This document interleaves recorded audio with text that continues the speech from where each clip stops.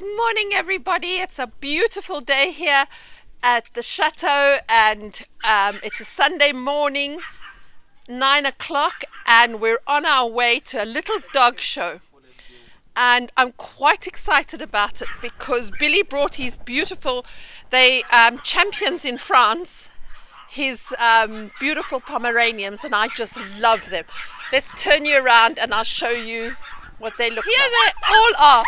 And they're all ready for their show. Goodness, look at them. Aren't they gorgeous? Look. Oh, voila. And here is Billy in his beautiful shirt and his son Timothy. And he is coming. They're all going to show me what to do. And I'm going to help them at the show. I'm so excited. Catch you later. And here we have Tilo, who belongs to Christina. He's a darling little boy, and um, he's introducing himself to Prada. And we're going to take Prada out of the cage and start grooming her now. Well, we've got Billy. He's taking Prada, his favorite dog, Pomeranian, and he's busy preparing it for grooming now. I just love watching him groom his puppies and the, this dog, Prada.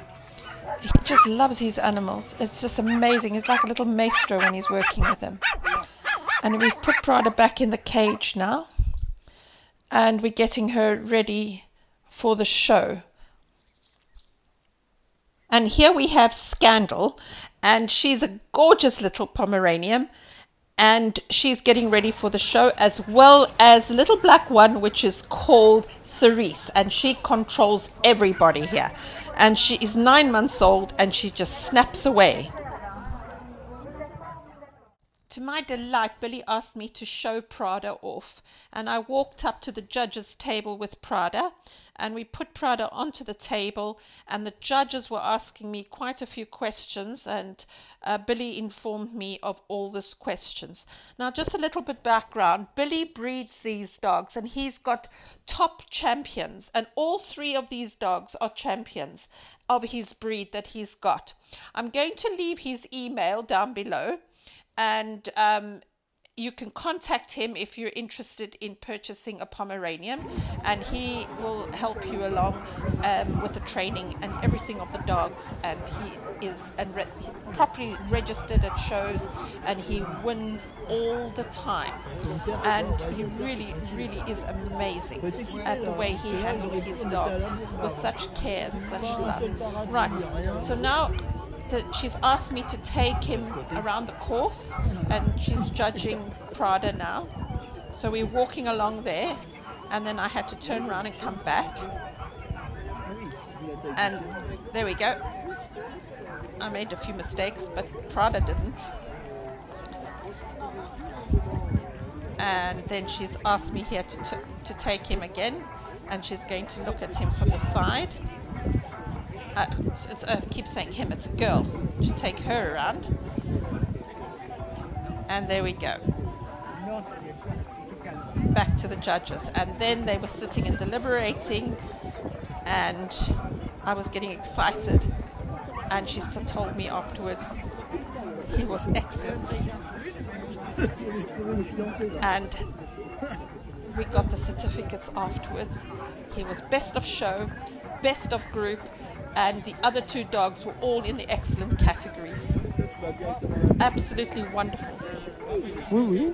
Tu, tu, tu. Non, en la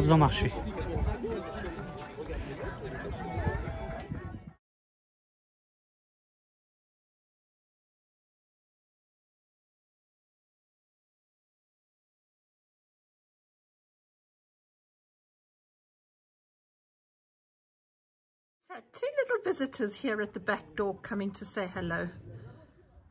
I hope you can see this. It's just the leaves are falling now and autumn is coming from the tree. I'm on my way taking a slow, slow walk to the post box after I've just had COVID and I'm strengthening myself up.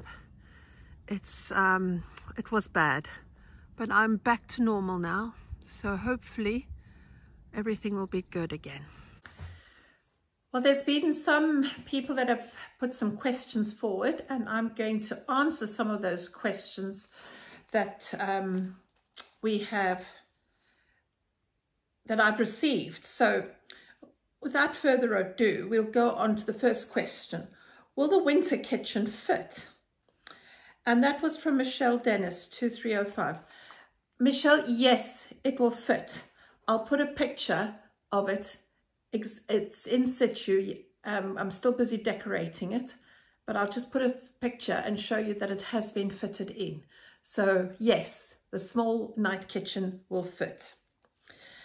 Um, and then Betty Chandler, 341, asked, why a winter kitchen? Right, in a huge house like this, um, what we usually do is we have an apartment. So we've made the east wing into an apartment, which is two bedrooms with two en suites, a lounge and the kitchen. So that will be what we use in the winter. The rest of the house gets shut down and we don't use it at all. And we only open it up for the summer. That's, I hope that answers your question. And then the sec, the third question, Kelly Hill, 3550. How did I meet Bridget? Well, I met Bridget last year um, and I came to stay at her B&B in um. And it was such a pretty, cozy little B&B. And we just knocked it off as friends immediately. And she and I have been, haven't stopped talking to and we've just had such a wonderful time chatting and planning my um, trip back to the um, to France, and then um, that was in March when I came over with Jeff and Annie. And we just enjoyed staying there. But unfortunately, while we were staying there, her husband passed away. And it was a traumatic time for her, as well as we were sad because we'd met, I only met him the night before. Um, when I came the first time, um, her husband was ill in bed. And then um, the second time I came with Jeff and Annie, he was fine. He was walking around and he was having a wonderful time. And um, the night we sat chatting and drinking Prosecco and just um, giving him the plans. And then um, the next morning we left to come to the chateau to clean, start cleaning it up and everything. And um, at about three o'clock, she texted me to say that um, her husband's in hospital. And I said, "Oh, really?" And I hope everything goes all right. I said, and then three thirty, she texted he'd passed away. Um, so that was a traumatic time for her. And they were married for 48 years. They were married. And um, anyway, so he passed away. And then I came back um, a week later because I came with the trucks to move in and I stayed with her for six weeks to keep her company while I was cleaning up and moving all the boxes around in the chateau and everything. And um, then you, things, one thing led to another and we were really enjoying each other's company and she was very helpful to me and um, she had to leave her house because um, something disastrous happened and um, she had to move out of the house and she had nowhere to go. And i said good god i have this big chateau here. Why don't you come and live with me and she was so excited about it and she's really taken it to heart and she moved in with me. And she's um, moved in and about officially in july so she's only been here about two, three months and she's been helping me extremely.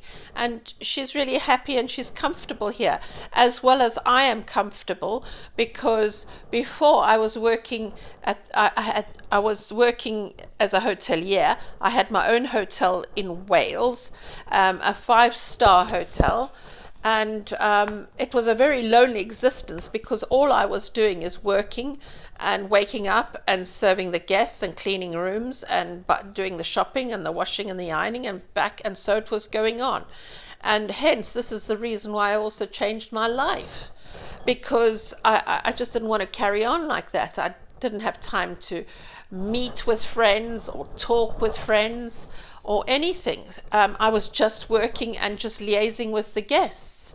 And to me, that wasn't really a life. And then the winter months were very um, cold in Wales and wet. And, you know, I, I knew a few friends, but you can't keep visiting them every day. So most of the time I was um, on my own. And having Bridget here has just been wonderful. And we do things together and we have so much laughs and we really enjoy each other's company. So, uh, yeah, and it's been over a year now that I've known her. And um, so, and things are working out great with her living here. So, that is how I met Bridget. Then Lucy Orban. She asked for a short bio of yourself. Okay, just a quick one. Um, I grew up in South Africa my father was a professional tennis coach and he coached a whole lot of South African tennis stars. Johan Kriek was one of his proteges as well. Um, I grew up in a tennis environment with my father. My mother was an artist and um, she she did very well. And then we, my dad decided to move to Austria um, in 1974, and that's when I moved with them to Austria, and I went to school there um, to Handelsakademie in um, Austria, and um, I learned to speak German there and everything. But I wasn't very happy there, having grown up on a farm in Africa and living in a flat in um, Austria with all the rules and regulations. I asked my dad if I could maybe go to London and go, or to Paris. That's right, I went to Paris. So I went to learn French in at, in Paris, and my parents helped me to get there, and I did my I, I, I learned French, and then I decided to go to London, and I worked there in London for a while until I decided to go to South Africa back again, and I lived there for 20 years. I became a pilot. I had my own flying school. I had my own airline. And I ended up working for Monash University that was based in Johannesburg. Um, I was um, one of the um, directors of the uh, Center for Aviation Law in Africa, and I tried to get it established in Kenya as well, and um, and work with United Nations and um, yeah, I, I, was really heavily involved. Um, and then one day, I I said to my um, two daughters, I said to them, I think we're going to move to England. Um, your opportunities, because things were getting a bit rough in South Africa, and we moved to um, the UK, to England and um, I was working in the aviation industry here and um, flying and doing whatever I have to do. And then I decided I've had enough of all this. All my life I was flying and, you know, war zones in Africa and uh, food aid and everything. I decided I wanted to buy a hotel. So I bought a hotel in um, Wales, in Llandovery and I made it into a five star hotel and it was a great success. But I found out I was very lonely there. And I've moved now, and I was looking already, oh, I'd say about 10 years ago, I was looking for a house in, in France. And then suddenly this house came up, and um, I, I, I, fell in love with it. It was exactly what I was looking for. It wasn't over pretentious. It was just a simple chateau, and it was, uh, uh, you know, the layout was just so perfect for me. You had the um, sit, the salon, as they call it, which is the sitting room, moving on to the dining room, and then across the uh, the entranceway is the library, and everything was just so perfectly laid out, and everything was just the right space and size for me that I wanted, and this is how I got to where I am now. That just gives you a short bio of myself. Um, then Patty T. Are you going to make your home into a B&B? Yes, I do want to have three rooms here and make it into a B&B, but it won't be next year, it'll be the following year because I want everything to be um, beautifully finished off and then when people come here, I don't want them seeing half the stuff as being under construction that they've got to climb over places. Um, so therefore, I'm trying to get uh, the bedrooms fixed up. I'm trying to get the designs in place. But the major part of the of the chateau is that I had to get get the electricity, the water, the fosse septique done, and the roof had to be made sound. And as far as we are now, we've got um, the roof is nearly finished, and uh, the fosse septique has been finished now, as I'm speaking to you today, and that has all been done and we've got all the grey water going in, um, going into a tank, and the and obviously the sewage goes into the septic tank. And we've got water, a big, huge tank in the ground that collects water as well for us, so that we can water the gardens and everything, and not use um, council water. And we just collect the rainwater. So that's all been fitted. Um, we also trying to get all around the chateau, all the um, gravel done properly, and just tidying up everything. Um, and we're decorating at the present moment as well. So there's quite a lot going on, and um, so yeah, we've still got a lot of electrics to do. We've done a quarter of the electrics up on the first floor, which is our apartment. We've started we started downstairs. We've done the back kitchen, the pantry area, and we've got outside lights now and security, and um, the toilet has been done downstairs. And now we're moving down the hallway into the entrance halls and into the sitting room, dining room, library, and then the last part of it will be the kitchen, the big kitchen that we're building, that we're going to be doing next year. So for this year, I'm just going to get the electrics done downstairs finished.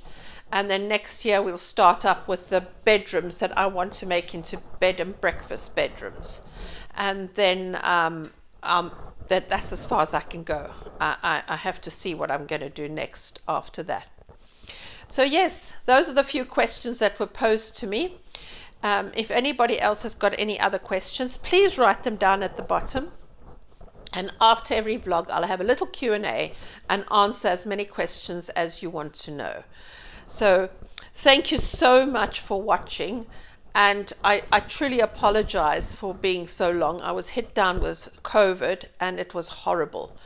And I'm slowly recovering now I'm still a bit tired, but I'm pulling myself towards myself and just getting positive and starting to work myself up with the decorations and enjoying the chateau at the moment.